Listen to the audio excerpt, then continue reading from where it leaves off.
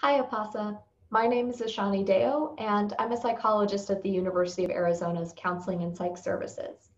Today, I want to talk to you about what you can do to help prevent suicide. That starts with knowing the warning signs and taking them seriously. Warning signs that someone might be thinking about taking their own life include things they might say, like talking about dying or wanting to die, feeling trapped or hopeless, worrying about being a burden to others, or having a lot of guilt or self hatred. Signs also include actions, like researching or planning ways to die, withdrawing from friends and family, making a will, giving away important possessions, saying goodbye, having extreme mood swings, or engaging in self destructive or risky behaviors. You might also notice that someone who has been feeling really sad or down suddenly seems calm, which might mean that they've made a decision to attempt suicide. So, what can you do if you notice these warning signs? Step one is speak up. Share that you're concerned about them or have noticed some changes that made you want to check in and ask Are you thinking about killing yourself? It's not easy, but research shows that asking someone if they've been thinking about suicide does not make them more likely to consider it. Just listen to their story and their experiences with sympathy, compassion, and a lack of judgment. Now, a few things to avoid when you're having this conversation. Try not to act shocked or surprised by what the person is telling you. You don't want them to feel judged. Don't promise to keep information secret. You may need to share it to keep them safe. Don't challenge them to prove the seriousness of their thoughts, argue the value of life, or debate the morality of their feelings. Also, try to avoid giving advice or minimizing their concerns. And don't blame yourself.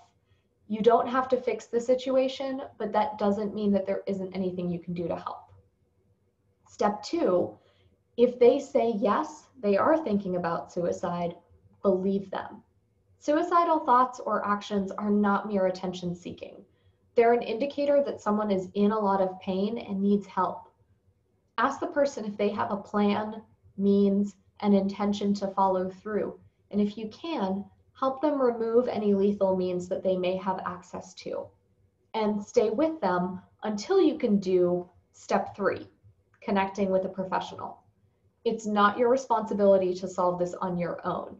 You can call the National Suicide Prevention Lifeline at 1 800 273 TALK or 8255 or text talk to 741 741 for the crisis text line at any time to get support. To get support, you might also be able to call a family member, trusted adult, or faith community leader. And if the person considering suicide already has a therapist or a psychiatrist, encourage them to call their provider or walk them down to CAPS. And if an attempt seems imminent, call a local crisis center, 911, or go with the person to a local emergency room for evaluation. Once the person is safe and connected with professional care, step four is to stay in touch. People in a lot of distress may struggle to reach out, so call or visit them periodically if you can. Invite them to go out with you or offer something you know is within your capacity to help with, whether that's getting them groceries, checking in regularly about their well being, or sitting with them while they make appointments. Even after a crisis has passed, staying present and supportive over the long haul can be an important part of continued recovery. Now, that takes us to the end of my quick tips, but there's lots of information out there if you want to know more. For a good place to start, check out the links below. And remember, we can all do something to help prevent suicide.